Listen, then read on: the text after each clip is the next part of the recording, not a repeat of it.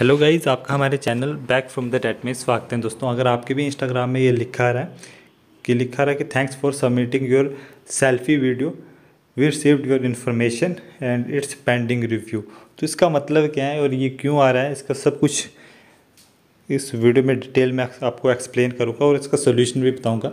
तो वीडियो पसंद आए वीडियो को लाइक ज़रूर कीजिएगा। हमारे channel back from the date को सब्सक्राइब करें।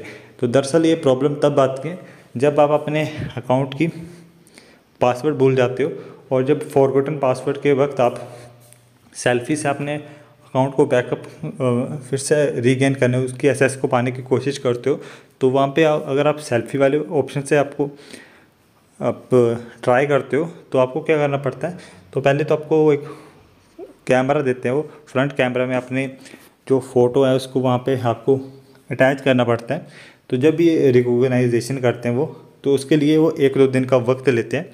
तो आपने जब वो अपनी फेस की फ़ोटो या वीडियो जो भी सेंड कर दिए उनकी टीम को तो उसके बाद आपको क्या करना पड़ेगा? आपको थोड़ी दिन इंतज़ार करना पड़ेगा। मिनिमम 48 घंटे वेट करना पड़ेगा और 48 घंटे के अंतर अंतर उनकी टीम एक आपको मेल कर देगी आपकी, जो आपके ईमेल आईडी से जो मेल लिंक है, या फिर आपके इंस्टाग्राम एक मैसेज कर देगी और आपकी जो भी अकाउंट की एसेस है वो आपको दे देगी और जो भी आपको प्रॉब्लम आ रही थी आपके अकाउंट में वो सॉल्व हो जाएगी।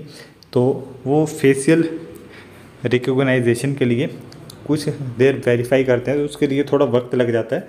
तो इसके लिए आपको थोड़ी देर वेट करना पड़ेगा और आपकी जो भी प्रॉब्लम है वो सॉल्व हो जाएगी। तो वीडियो पसंद है वीडियो को लाइक करें चैनल को सब्सक्राइब करें।